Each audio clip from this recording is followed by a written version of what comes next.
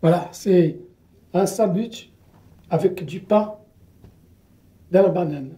Voilà, vous prenez un bon pain, là, c'est du bon pain, ça, hein. c'est très très bon le pain. vous allez écouter, regardez, je vais couper comme ça.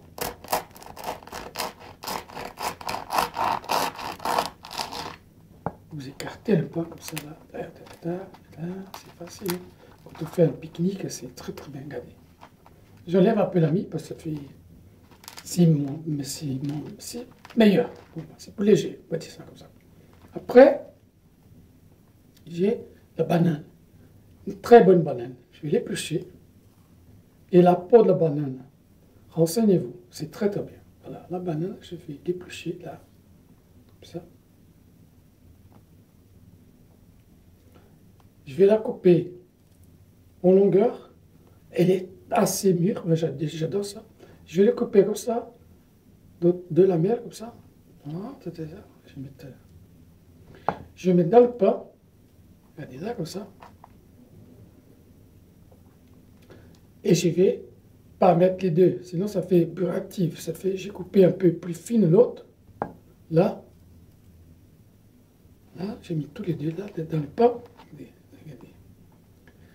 Fermez tout ça. Regardez, ça fait un sandwich, hein, un super sandwich.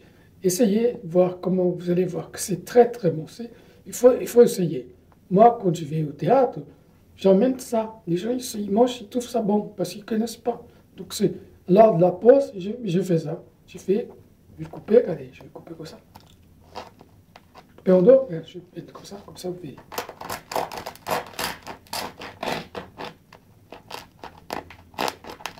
Ça fait que vous avez deux petits sandwichs avec de la banane.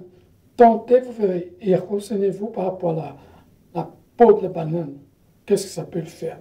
Ça peut faire une crème pour le visage. Tout, tout.